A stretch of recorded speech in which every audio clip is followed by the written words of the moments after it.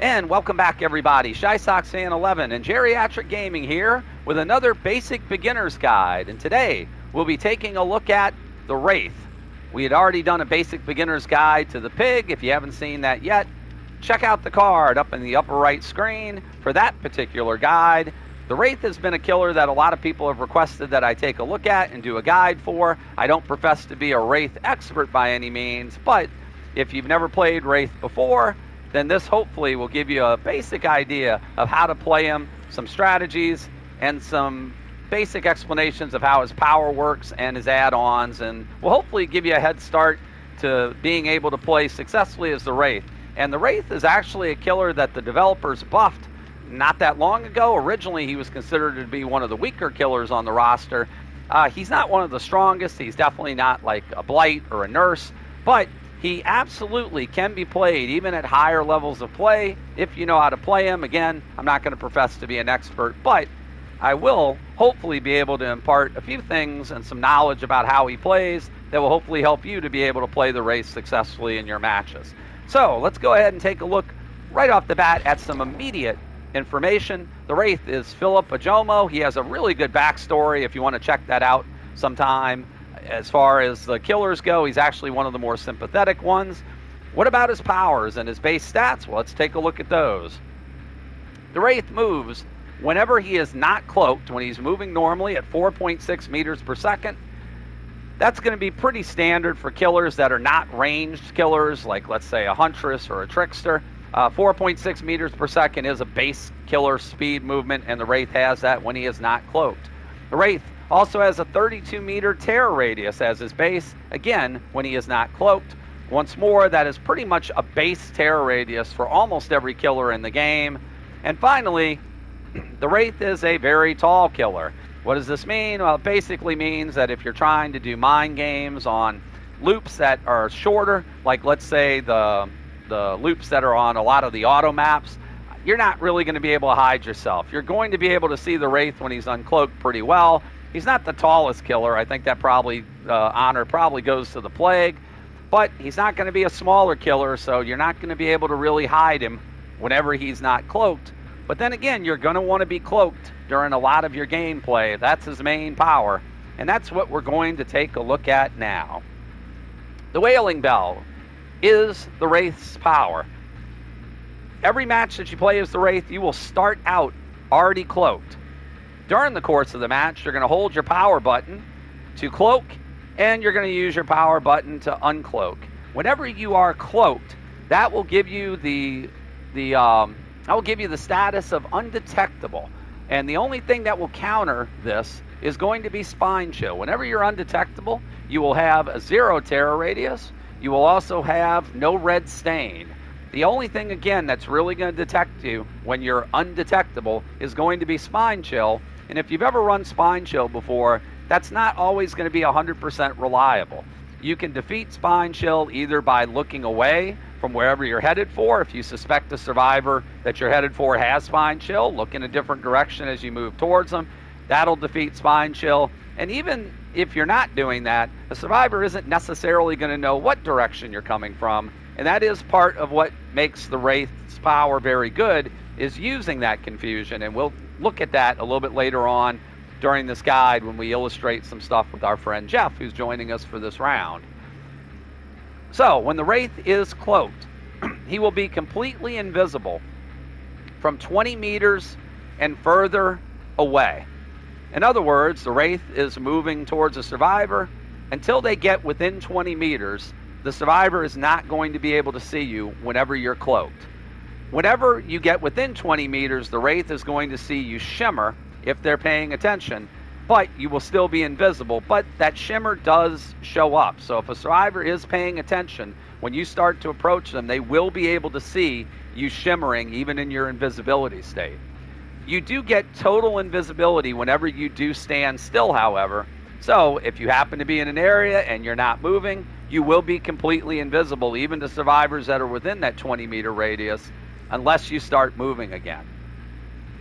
Now, whenever you are cloaked, you can interact with objects. You can kick generators. You can break breakable walls. You can break pallets. The one thing you cannot do when you are cloaked is you cannot attack survivors. You will have to uncloak in order to attack. Things when you are cloaked that can affect you, however, also flashlights, firecrackers, flash grenades. All of these can stun you whenever you're cloaked and force you to uncloak. That's, uh, I believe that's light burn, is what they call that. Uh, the Wraith is one of the only characters that this affects in this fashion. So if you're playing Wraith and you play against a lobby with a lot of flashlights, survivors, really good survivors who know how to use a flashlight, know this and are going to attempt to burn you. And if they do that, you will suffer a four second stun. So you want to try to avoid that if at all possible. And one other thing to remember is that even when you are cloaked, you are going to still be making noises. The Wraith has a very distinctive growling type noise that indicates his presence. So, again, even though you're invisible, very, very astute survivors who are paying attention to their surroundings will know you're coming.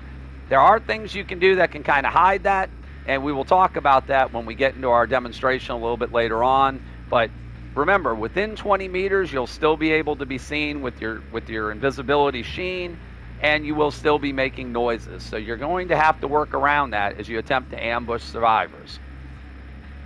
As you start the match, again, as I said, you will start the match cloaked. Once you uncloak, whenever you cloak again, it takes one and a half seconds. Again, this is all times that are base without add ons. Your wailing bell will sound as you cloak, and you have no speed penalty. So you're moving at 4.6 meters per second as you cloak you do not suffer a speed penalty to recloak back up. Your wailing bell, again, without add ons, can be heard up to 24 meters away, and there's a distinct whooshing sound that you will hear up to 40 meters away whenever the Wraith is cloaking. In order to uncloak, whenever you hit your power button, it will take, again, without any add ons, three seconds. Your bell will ring halfway through, one and a half seconds in, and during your uncloak, your movement speed is actually going to be reduced to 1.6 meters per second during that action of uncloaking. Once you've uncloaked, you will get a one second lunge speed, and your default lunge speed is 6.9 meters per second for that time after you've uncloaked. So that lunge, again, very important as you're uncloaking and trying to get hits on survivors. That will give you a little bit of extra oomph in order to hit somebody and that can be very useful if you're trying to get somebody who might be camping a pallet, and we'll take a look at that a little bit later on, or just in general, because once you ring that bell, again, survivors are going to know that there's a wraith in the match that's close to them that's uncloaking. They're almost always going to start running, moving to a safer area of the map, moving to a pallet, moving to a window, and that lunge will be important in order for you to try to land that first hit or that second hit to get somebody down using that lunge and using your positioning on the map to try to survive sur- surprise survivors is going to be very key to playing Wraith successfully. You would think that as an invisible killer, it would be very easy for you to just land hits left and right on random survivors. You'll be able to get away with that against very new survivors, but again, people who've played the game as survivor for any length of time eventually will learn how to counter the Wraith, and you will have to use some strategy as far as how to approach people, how to position yourself, and how to take advantage of your lunge and to take advantage of some of the add ons that you're able to use. Now, let's take a look at the Wraith's basic perks. His first one is Predator. Whenever you have Predator in play, scratch marks left by survivors will spawn slightly closer together. Uh, this is a terrible perk. It's arguably one of the worst perks in the game. Survivors leave scratch marks, and when they run, they leave scratch marks on lots of different things, not only on the ground. They'll leave them on pallets, they'll leave them on walls, they leave them on lots of other environmental objects. Whenever you run Predator, it tends to eliminate that, as I've moved to the Trapper accidentally. Pardon me for that.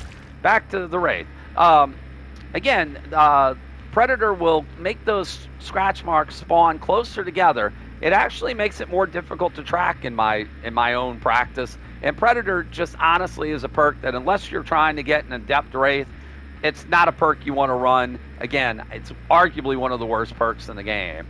His second teachable perk, available at level 35, is going to be Bloodhound. Whenever you're running Bloodhound, uh, fresh blood marks are going to be more discernible than normal, and they can be tracked longer than normal. Uh, Bloodhound is a kind of a mediocre perk, but it's it's certainly not the worst perk in the game. If you have trouble tracking, blood is a very good way to track. It's more reliable than scratch marks are, and Bloodhound absolutely makes blood much much brighter whenever you are tracking somebody. Uh, I've done Adept Wraith, I've played with Bloodhound, and it definitely helped. Uh, again, would I recommend running this perk? Not really. Uh, once you start to get good at the game and tracking scratch marks, I'm not particularly great at tracking scratch marks, and I don't run Bloodhound because there's just better perks. But again, that's what it does. And finally, the Wraith's last perk at level 40 is Shadowborn, which gives you a wider field of view whenever you play this. And this is a great perk if you're playing Nurse. If you're not playing Nurse, almost every other killer does not really benefit from this. It, it's pretty much, again, a, a useless perk. Uh, the main thing I can say about it is it gives you a, a, feel that you're moving faster than you actually are when you're running it because of the wider field of view. But honestly, again, unless you're playing for an Adept Wraith, it's not really a perk you're going to want to run. It's just not very good. Unless, again, you're playing on Nurse. Very, very high numbers of players, not all Nurse players, but many Nurse players run this perk. I run it when I play Nurse. But on Wraith, again, not really a particularly good perk on him or most of the killer roster. So, if you're not running these perks and playing Wraith, what are you going to run? Well, let's take a look really quick. I'll show you the build I use, and we'll talk about other builds, other strategies when it comes to your perk loadout. So, my basic Wraith build is going to be as follows. We will run Corrupt Intervention. That's a plague perk. Corrupt Intervention has the three generators the furthest away from you blocked by the entity for the first two minutes of the trial at tier three. It's a very effective, very, very effective slowdown perk at the beginning of the game when you really need as killer to start getting pressure on. It stops generators from popping initially right away in the match, and it gives you an opportunity to, to at least start to get into some chases and maybe hopefully get a couple downs before corrupt wears off. I never used to be a huge proponent of corrupt, but now that boon totems are part of the meta, uh, ruin and undying, the hex perk slowdowns that are in the game, just really are no longer anywhere near as viable as they were before. Uh, people are absolutely cleansing totems and booning totems at a rate that they probably never have before. so if you're playing as Wraith, I'd strongly recommend Corrupt as an early game slowdown perk. Our second perk slot has actually changed. It used to be Pop Goes the Weasel, and if you're not familiar with Pop, we will take a look at Pop really quick. Uh, Pop Goes the Weasel is a clown perk. Whenever you kick a generator after you've hooked somebody at tier 3, the generator you kick will lose 25% of its progress and start to regress. This is what we used to run on Wraith. Now we run the new artist perk, Scourge Hook Pain Resonance. Now, when you run this perk, you have four random hooks in the trial. Will be Scourge hooks. You'll see their auras in white. Whenever you hook somebody on a Scourge hook, the generator with the most progress will explode, making it lose 15% progress at tier 3. It will start to regress, and anyone repairing that generator will scream, revealing their location. This to me is now preferable than pop. Even though the regression that you get is 10% less, it will be on the generator that most needs the regression. And the additional information of letting you know if a survivor is actually there is just is just outstanding. And the only thing that really kind of screws you over with this perk is potentially RNG putting the hooks all together on the same side of the map. Maybe not where you're chasing. Maybe you down somebody and a Scourge hook isn't close enough for you to reach.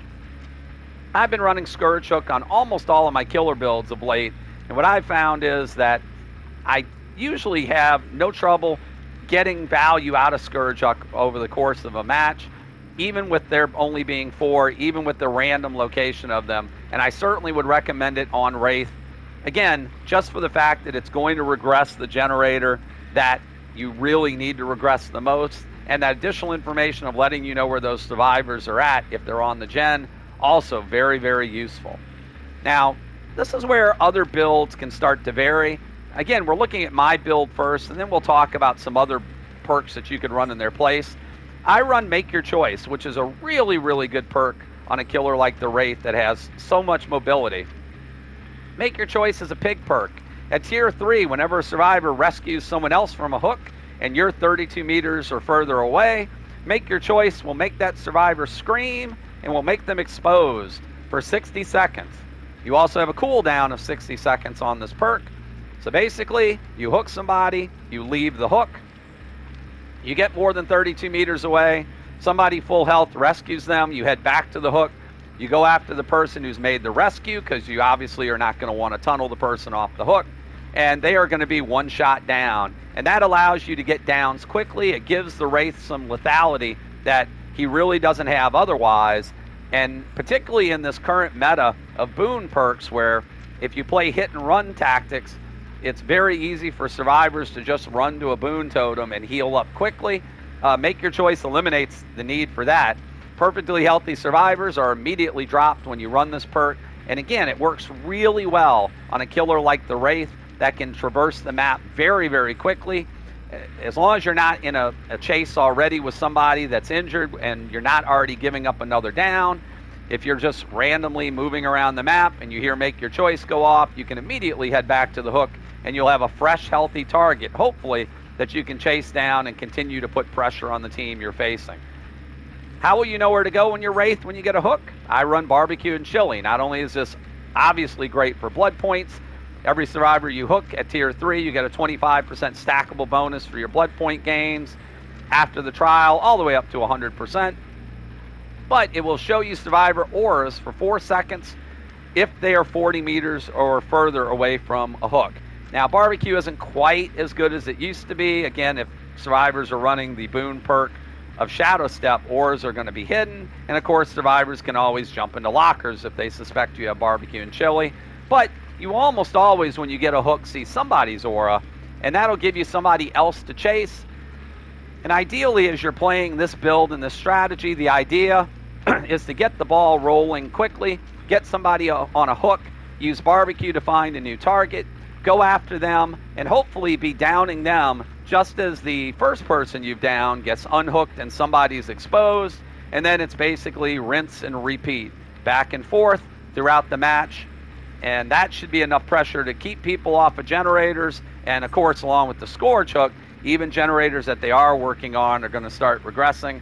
And I've, I've run this build, or when I had Pop in place of Scourge Hook, I've run this build with a great success, even up against red rank survive with friend groups, and it's been very effective.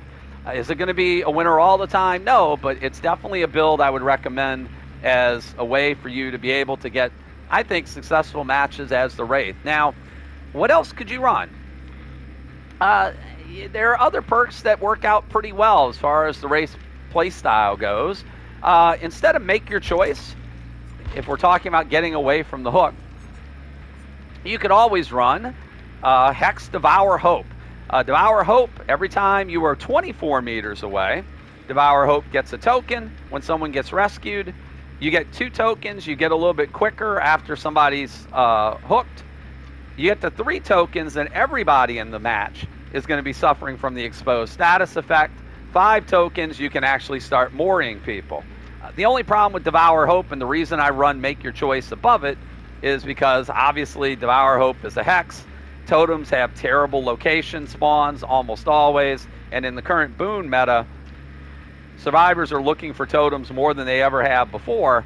But if you feel a little bit spicy and you want to have a way to not only get one shot downs, but to get people out of a match quickly, again, the Wraith can get that 24 meters away very easily and then can get back to unhooks very quickly. Uh, you can even run Devour and make your choice together putting Devour in place of barbecue and chili. If again, if you really wanted to be a little bit spicy, and at some point go from one shot downs on certain people to one shot downs on everybody. But Devour, again, a very good perk to run on Wraith, and it's one that can definitely surprise your survivors when they find out you have it. Uh, you could try other builds. We have tried an all hex build. We've run a build of Hex Ruin, which of course regresses generators at 200% whenever a survivor lets go of a generator and it's not being repaired, we have paired that up with Hex Undying.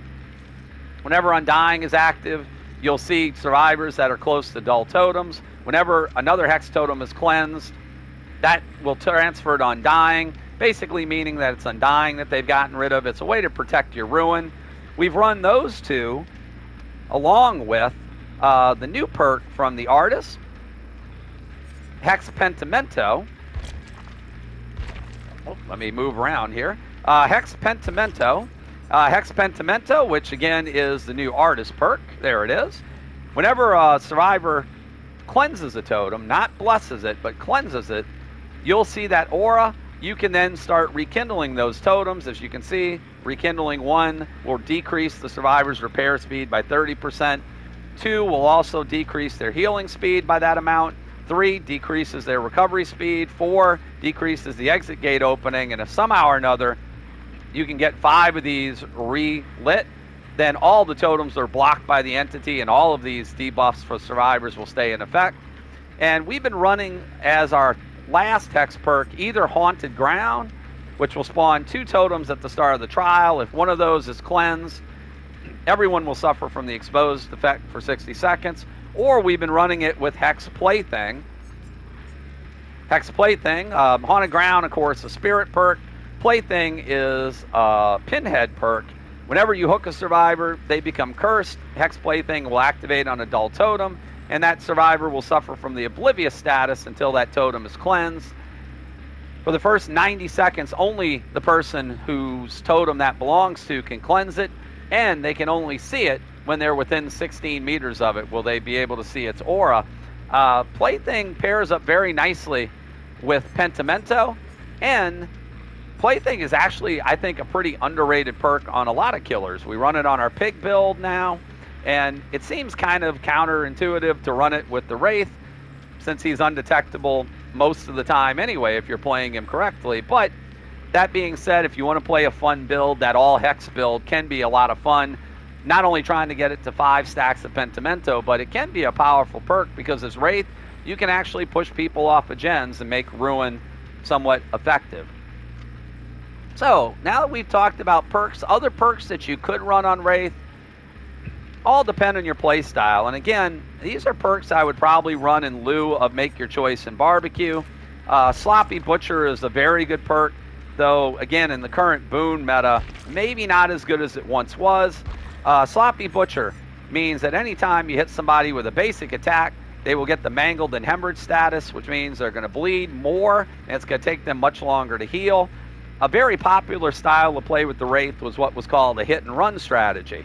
You would cloak, you would find a survivor, you would uncloak, you would smack them, then you'd cloak back up and look for a different survivor and try to injure as many people as possible and then sneak up on them when they were healing. A lot of the Wraiths that would run sloppy would also run a nurse's calling, which means anybody that's being healed or is healing within 28 meters, you'll be able to see their aura Again, that used to be two perks that you would see on a lot of hit and run Wraiths during the current meta, again, of boon perks and the circle of healing in particular. Hit and run is nowhere near as successful as it used to be. That being said, again, it's something you could still run. Uh, brutal strength is not a terrible perk to run.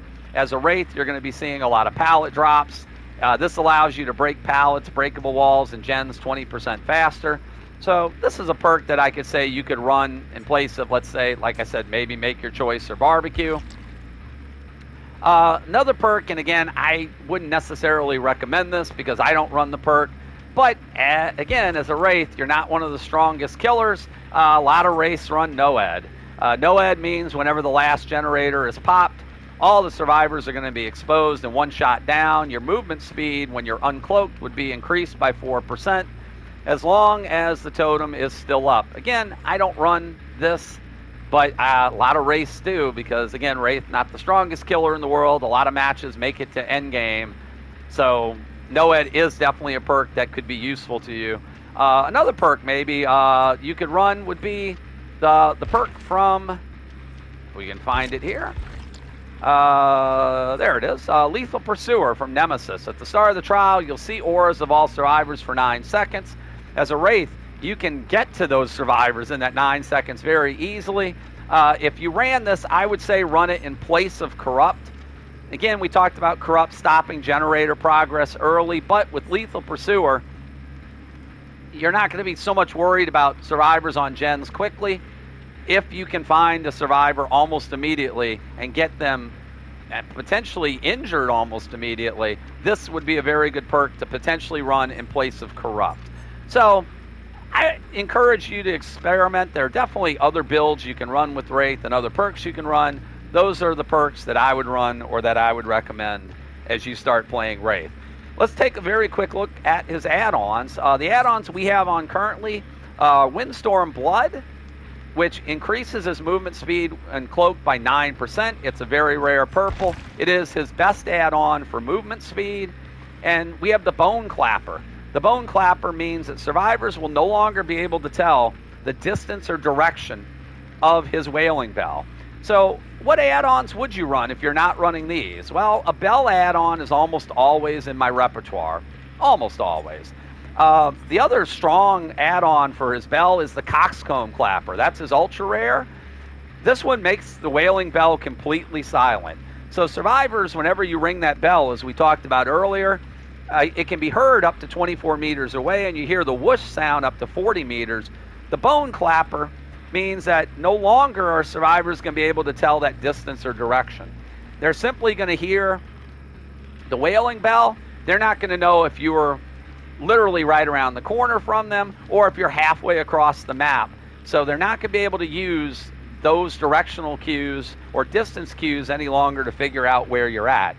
And of course, the coxcomb clapper, by making it completely silent, means that as a wraith, you can sneak up on somebody and get your uncloak in before the survivor has any idea you're even there. The only problem with the coxcomb clapper is that once you've used it and once the survivor realizes you have it, they're just going to be a little bit more wary. But again, this is arguably his most powerful add on. And the Bone Clapper, even though it's not his most powerful, it's one of his most powerful.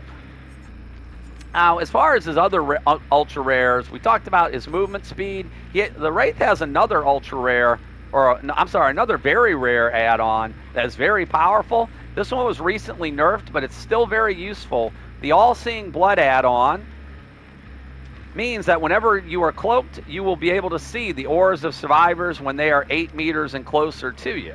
This, coupled with the silent bell, can be a very, very powerful add on. A lot of times with this particular build, with Make Your Choice, I will run the All Seeing Blood add on for no other reason that survivors that are exposed, well, their first instinct is going to be to hide. And while lockers will still keep you from seeing somebody. So if they jump in a locker, you're not going to be able to see them with this add-on. Any survivor who runs behind a wall or into some brush or into the corner of the map to try to get, get away from you if you're running make your choice and they're exposed, well, this is going to help you to be able to find those hiding survivors. But even if you're not playing make your choice, this is a very, very powerful add-on. Um, other add-ons that I run or that I would recommend, any of the movement speed add-ons. Like I said, Windstorm Blood is the one that increases it by 9%, but Windstorm White, which is the rare, the green one, increases his movement speed by 7%. And if you look at his yellow add-ons, Windstorm Mud, the uncommon yellow, will increase his movement speed by 5%. All three of those are very, very powerful add-ons. Uh, other things you can do with your rares in particular, Swift Hunt will increase your uncloaking speed by 12%. Shadow Dance will increase the speed that you vault windows, break pallets or walls, and damage generators by 60% whenever you're cloaked. And these add-ons actually have other comparable add-ons. As you can see, the Shadow Dance White is your vaulting windows, pallets, and walls, and damaging generators only by 40%. And I do believe no, there's not a yellow one for that, but you do have green add-ons that match up well, not quite as high a percentage. Again, we have the Swift Hunt White increases your uncloaking speed, this by 10%. These are also good add-ons. Feel free to, to mix and match with these add-ons and find a combination that you like to play with and that fits your play style. And just really quick to talk about his other add-on, the All-Seeing Spirit. Whenever you're cloaked, you'll be able to tell the repair progress of any generator by the intensity of their auras. If you were running a perk like Pop instead of Scourge Hook, you could run All Seeing Spirit to know what generator to go to Pop. Uh, this is nowhere near as good as the add ons we've discussed already. I rarely run it, but again, it's worth mentioning since it is his ultra rare. But my recommendation is that whenever you play, uh, again, the Bone Clapper is an uncommon. You should get plenty of these in your Blood Web. This is usually pretty good to confuse survivors. Using that with something else is usually a, a, a good idea that if you move some, use something that increases his movement speed, those, like I said, are his best. But any of the other add-ons will do. Again, feel free to experiment with anything you'd like to come up with something that fits whatever play style you want to play with. So, with that being said, we're going to take a look. We talked about positioning. We talked about using that positioning to surprise survivors. And we're going to do this, and our friend Socrates, Jeff, is going to join us here. And we are going to ready up and move into a lobby. And we're going to talk about how to use some of these things to your advantage. And we're also going to show a technique that Wraith players know how to use. It's going to take some practice. I myself am not perfect at doing it. But really, really good Wraith players. The more you play Wraith, and the more you practice. It's a very strong technique to use. Jeff, say hello to everybody. Hello. Here's Jeff. So Jeff will be our, our, our survivor bait for this round to give us uh, an example to show a couple different things as far as how to how to use your your stealthiness to surprise survivors to show you what you don't want to necessarily do and plus it's going to illustrate we're going to illustrate um, illustrate a couple of these techniques we talked about. So we're going to be going to a very excuse me a very survivor friendly map in ormond. And ormond actually has a very powerful main building. And hopefully that gen won't be blocked. I guess it depends where we where where the game spawns me at jeff Watch, it's going to spawn me in the main building. That would be kind of funny.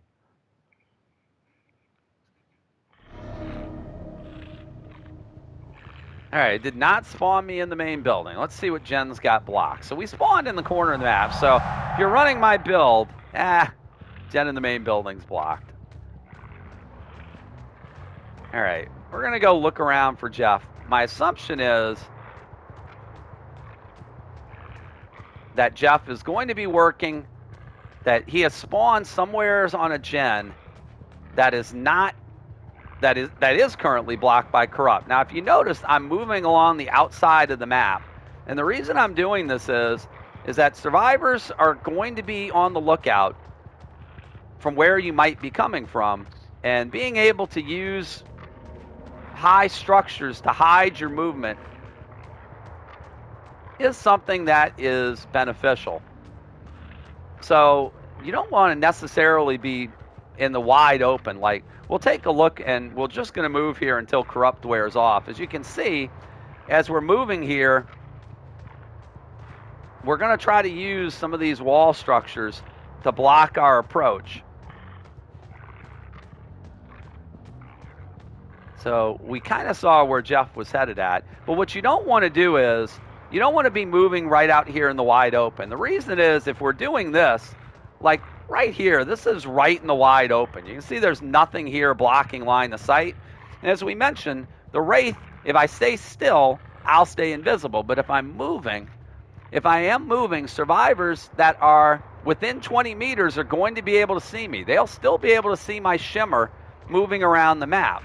So if you're moving and trying to get, like let's say there was somebody on that generator right there. If I'm moving this way, a survivor would have a clear sight at me coming to get them on the gen.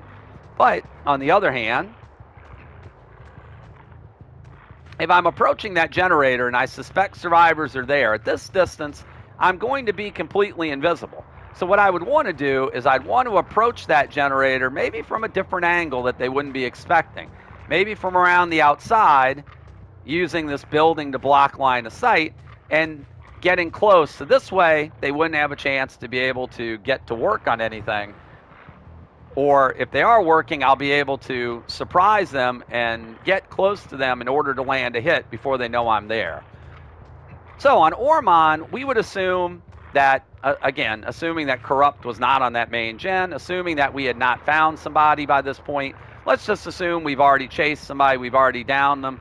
Where would Jeff be likely to be? My guess is Jeff would be headed for the main building at this point. So let's say Jeff, we are guessing we've just let's say we've hooked somebody over here on this hook, and we decide we want to check on that generator in the main building. Now, there are two ways we could approach this. There are multiple entrances to the main building, but we want to stay as hidden as possible. So we're going to use the building here, and we could tell he is working on it. So we are going to use the wall and start uncloaking like so. All right. Ah, Jeff, you can heal up while I kick this generator. So what did we do there?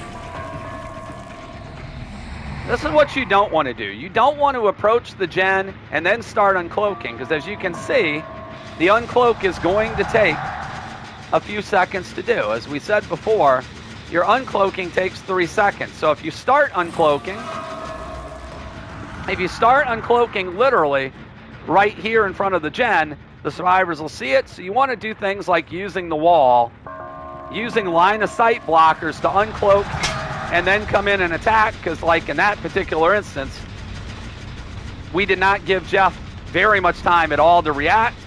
Uh, even if he was running spine chill, he may have known someone was coming, but he didn't know what angle was we were coming from. And again, as you can see, this would be an angle we wouldn't want to take because if we did, he would be able to see us coming if he was looking behind him. So, another thing you can do is Wraith. So that's arguably the most important thing you can do is when you try to get your initial attack in, try to use as many line of sight blockers, tall walls, building structures to hide your approach. Something else you can do is as Wraith, when you're cloaked, you can block pallets. So Jeff is going to try. Jeff is going to try to run down here to this pallet. But here's the thing: we're going to get in front of him, and he can't drop the pallet. Now he can. Whenever you're cloaked, you have you have a collision. So a survivor is not going to be able. A survivor is not going to be able to drop a pallet on you if you are cloaked and you're blocking it. Now, if you are not in the right position, and we're going to try to get in the wrong position, Jeff, come drop this pallet on me. You should be able to from this point if you come from that outside. Where'd you go? I'm still inside. Yeah, see if you so if you're not in the right position, if you're not in the right position, they will be able to drop a pallet, and if they do that, you will actually uncloak and you'll have to eat a stun. So that's not very easy to do necessarily, but it will take a little bit of time in order to do that, is to block pallets and windows successfully. As you can see, he tries to run up the stairs. I can block the stairs from him and keep him, well, yeah, we can block the stairs and try to keep him positioned where we want to until we can uncloak and then use that lunge to hit him. Um, the other thing you can block is not only pallets, but windows as well. So let's say he was headed for this particular window. Again, he could run for this window by the bar if he wanted to, but at the same time, if you position yourself correctly, you could block this window, and he's just not going to be able to vault that window, and he's going to have to look for another. He's going to have to look for another avenue at that point or he could just vault the window, or he could just vault the window back after we do it. But that does illustrate how you can block pallets and you can block windows whenever you are cloaked. Finally, the last thing that we want to illustrate, and we'll have to find a pallet here in the open. Yeah, there's one right outside here as soon as Jeff heals up. Is you will have survivors that will camp pallets. So let's say I've been chasing Jeff. Uh, let's say, let me uncloak first, Jeff. So, uh, let's say I've been chasing you. This is, by the way, this is a terribly unsafe loop. But just start running around the loop, Jeff. Let's say I'm running around this loop and I'm trying to catch him and Jeff's not dropping the pallet. So let's say he stops. I can cloak, and at this point, he's camping the pallet. Now, Jeff, don't move. We can see he is camping the pallet. So he's waiting at this point. You can make a nice 50 50 guess, but that lunge we were talking about means that we can still land a hit because that lunge is so quick that a lot of times a survivor, not all survivors, some survivors are going to be quick enough to be able to. Some survivors are going to be quick enough to be able to get that pallet down on you. So it's not going to be 100% of the time. But a lot of times, survivors that are at pallets like that, you can go ahead and get cheeky hits on them. Uh, one other thing you can do is you start ringing the bell. Like what we'll do with Jeff on here, now Jeff is not running dead hard, I presume, because Jeff never runs dead hard, right? Jeff, you don't have dead hard on, I'm assuming, correct? You'll never know. I'll never know.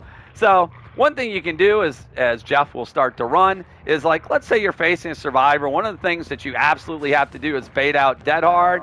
Is you can ring your bell like this without uncloaking and just kind of, like in this case,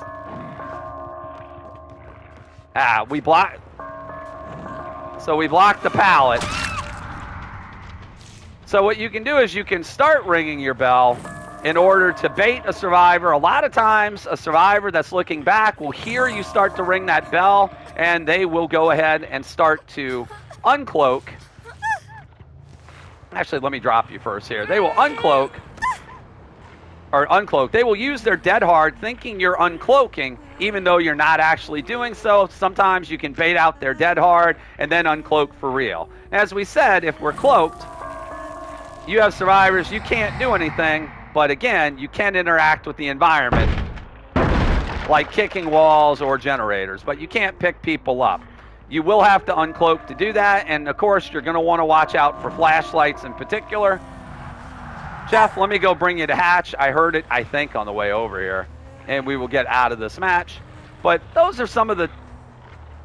Actually, where did we hear hatch? Thought we heard it over here. Was it by the killer shack? It I knew it was in one of these corners. So hopefully some of these uh, some of these techniques will be of help if you learn to play Wraith or if you're just starting to pick up Wraith. Again, a biggest most most important thing I can think of is to use your invisibility wisely. You don't want survivors to get too much notice that you're coming. And again, once they know that you're a Wraith, they're going to be looking out for you. They're going to be watching out for, for you to be cloaked. They're going to be looking to, to be surprised. They're going to be a lot more careful and a lot more wary. And the best way to counteract that is to go ahead and try to use your stealth to its best advantage. And the best way to do that is to use, like I said, line of sight blockers in order to keep survivors from seeing you approaching until it's absolutely too late for them to get anywhere safe. You want to catch survivors out in the open as Wraith. The last thing you want to do is find yourself continuously uncloaking and then having to chase survivors around a loop forever because the current meta with survivors is to basically hold W to run from tile to tile and drop pallets. And one way to counter the Wraith is just to get some distance on him. It's going to take him that time to uncloak.